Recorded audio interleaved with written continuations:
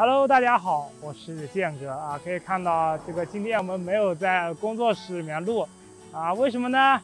那个 Insta 三六零啊找到我们说，希望给我们给他们的这个相机啊拍一个 Vlog 之类的，介绍介绍他们的相机啊，所以这个我们只好就这个大热天的啊，跑到这个南京的紫金山这边啊，到户外给大家来录一期。Vlog 吧，就通过这个 vlog 给大家展示展示这个我们南京的这个风光啊，也演示一下这个 Insta 三六零的一些玩法啊。这个我们先爬山，我们上山之前先买点水啊。我们居然一上来居然还有一个啊，这个卖水的。我看了看，那水价也没有贵的离谱嘛，三块钱一瓶嘛，还可以接受，可以接受。他居然还支持，还支持支付宝。哦，三块钱还不是很贵，居然好像还还算可以，因为正常这种旅游景点起码要卖到五块钱一瓶。哇，居然居然还是冰的啊，不错不错不错。所以我们现在是刚开始还是已经快爬完了？对，刚刚开始刚开始还没有爬呢，对吧？锻锻炼锻炼身体。大概有多高？我也不知道，好像四百多米吧，我也不知道。四百多米，三四百米吧。它这还有索道的啊？对哦，好像有索道呀。从从山脚有的坐吗？对啊，为什么我们可以做索道啊？这就不用爬了，哇，大热天对吧？我们主要是拍东西对吧？不是，对对对，达到我们目的就可以。对对，索道就索道，索道，索道。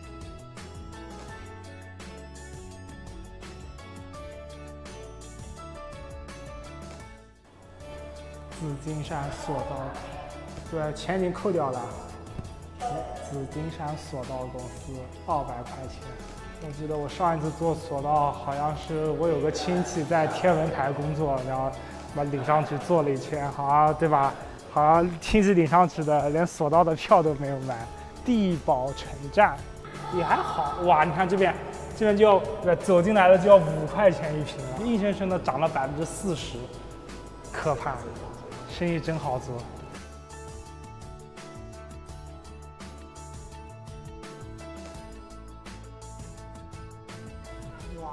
以前的索道我记得就是那种，就是人坐的，就那种没有带这种护栏的，就是一个座位。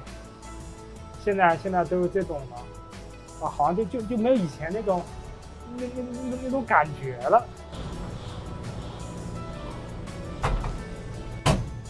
哇，这小风吹的还不错啊，对吧？我们我们就就云爬山一次，对吧？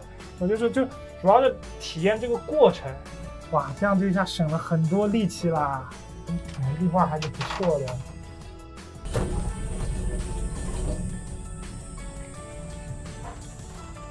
说实话，做这个还是有点心慌慌的。怕什么？你要像以前那种，对吧？就就是连个这个空间都没有。以前那个真的是要胆子大的才能做。嗯，这个还好吧。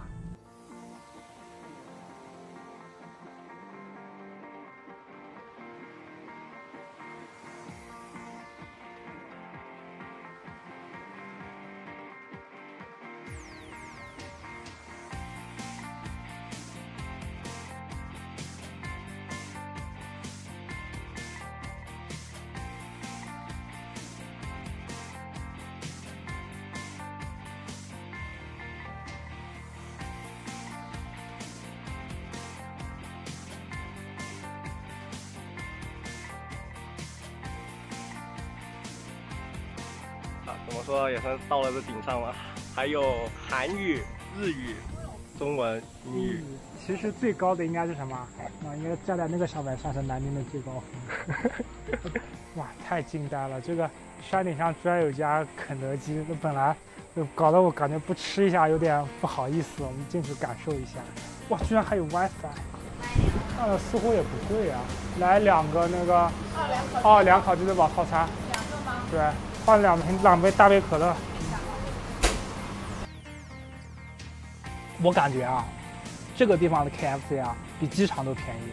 我觉得是，甚至比火车站都便宜。比南京站便宜。对，南京站便宜。我当时吃过太贵了。上面我觉得还挺精致的。还挺那个对吧？你在山顶上搞搞弄弄，还不错对吧？也不算很，这个正常价格感觉。应该是正常价格，三十七一个宝一个刺。他怎么把贵个贵个能接受。啊，就是我们发生了一件灾难性的事，嗯，可乐倒了，然后可乐倒了，分了一半给我。啊，真的，突然感觉特别好吃。按理说我们应该爬山上来，然后吃个休息一下的，结果我们云爬山，对吧？就坐索道不知道怎么也突然就累了。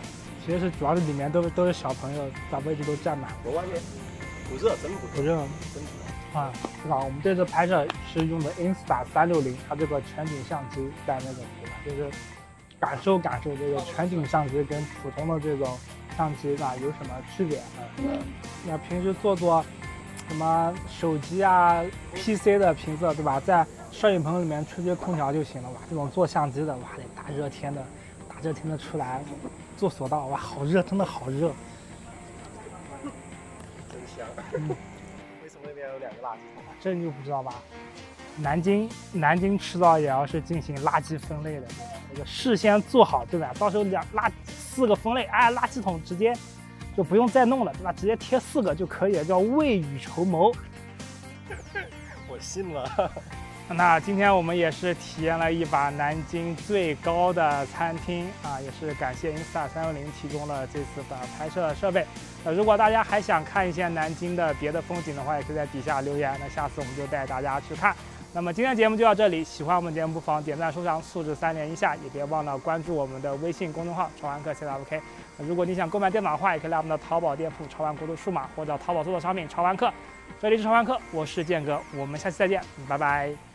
我们现在应该是在南京最高的地方，在吃肯德基，对吧？也不贵。那你要在那南京那个紫峰大厦同样高度地方啊，它不能不是同样高度，因为那个高度那边是那个蒸撮子了。比我们矮地方那个地方吃的话，哇，那个就就就贵了一笔了，好吧？所以还是在紫金山吃个肯德基，还是这挺爽的，挺爽的。南京的话，就别忘了来感受到南南京的紫金山，对吧？这是三百多还是四百多的高度，要来吃一顿三十多的套餐啊，还是挺划算的。